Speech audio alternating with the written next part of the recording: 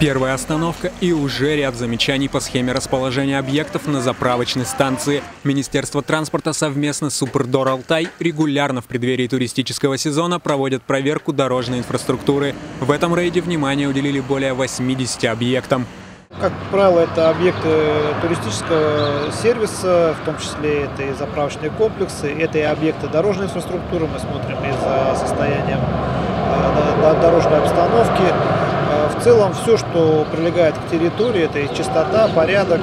Внимание к придорожному сервису не случайно, тем более сейчас, когда заграничный отдых почти недоступен. Алтайский край ждет гостей со всей страны.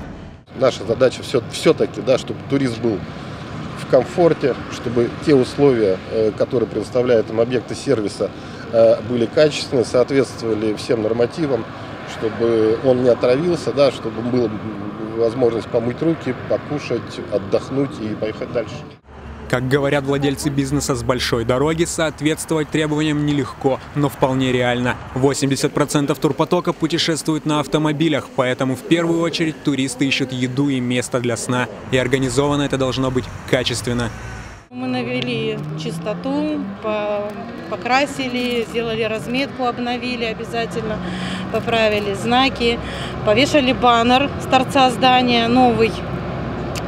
Мы э, Подготавливаясь к сезону, сделали ремонт на третьем этаже, полностью отремонтировали хостел.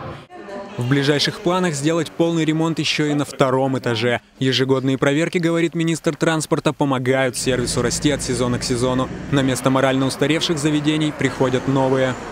И э, если э, говорить о том, что те люди, которые хотят этим заниматься, занимаются этим всерьез, и можно посмотреть на столь достойные объекты сервиса, проезжая по территории, наверное, большинства субъектов, тот уровень сервиса, который обеспечивает э, Чуйский тракт, он соизмерим и даже немного лучше по сравнению с другими федеральными трассами.